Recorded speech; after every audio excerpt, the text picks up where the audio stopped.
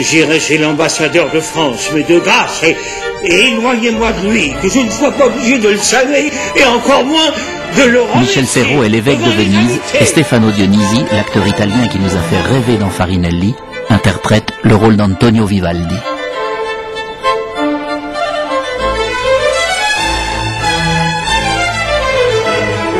Vivaldi, un prince à Venise.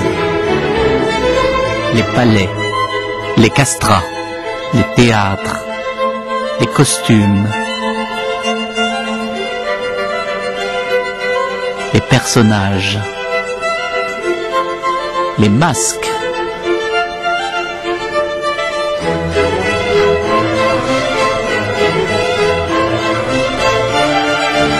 et les grandes heures de la Venise de Vivaldi. Baissez la voix Mademoiselle, vous êtes dans une église. hein. Cette attitude est, est très révérencieuse à mon égard. Appelez-moi le La gouverneur sottise de l'église du XVIIIe siècle contre le génie du brillant compositeur baroque, avec Michel Galabru dans le rôle du pape Benoît XIII et le carnaval de Venise qui durait près de six mois par an.